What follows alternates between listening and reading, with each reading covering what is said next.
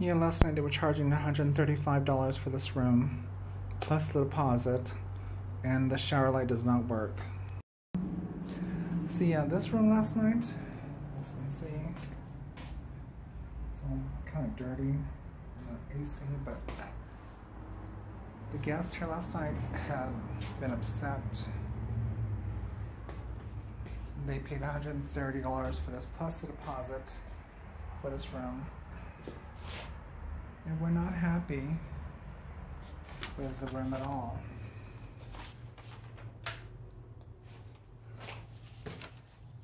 So yeah.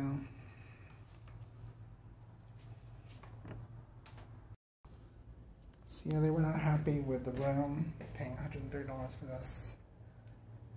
As you can see, the upkeep is not really that great.